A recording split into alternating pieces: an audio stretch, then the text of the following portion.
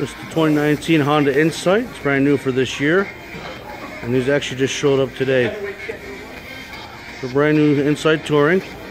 This is platinum white with the black interior. With the hybrid logos on the quarter panel. 17 inch alloy wheels. Chrome strips on the door handle.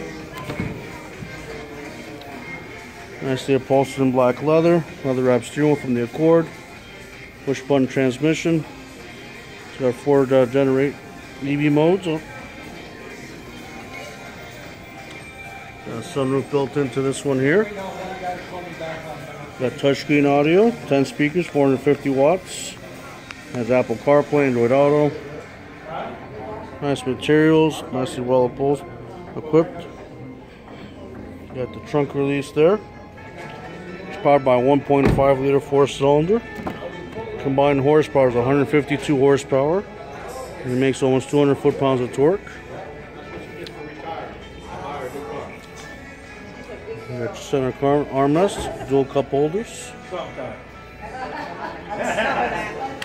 It's built off the Civic chassis, so it's nice and large car. Over 106 inches in the wheelbase. And it's got over 15 cubic feet in the trunk. Checking out the back. On the Touring, get the nice chrome accents on the bottom. It's got the nice LED taillights on the back. And there's your hybrid and Touring badge right there. Pretty sharp car. Got your HD uh, radio. Chrome door handles like I mentioned before. There's a nice dash layout there. There's your controls for your transmission. And those are the different modes for your hybrid modes. Very comfortable black leather seats and reconfigurable center armrest.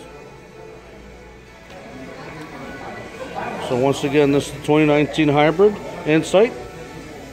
This car should make a big splash in the market. It's got a nice aggressive look.